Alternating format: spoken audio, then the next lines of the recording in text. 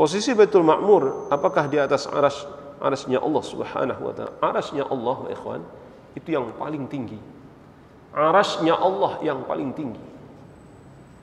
Arasnya Allah yang paling tinggi. Baitul Ma'mur tentu di bawahnya. Aras Allah yang paling tinggi. Sekali lagi saya katakan, Baitul Ma'mur di bawahnya. Tidak ada yang di atas aras Allah. Allahu a'lam bissawab.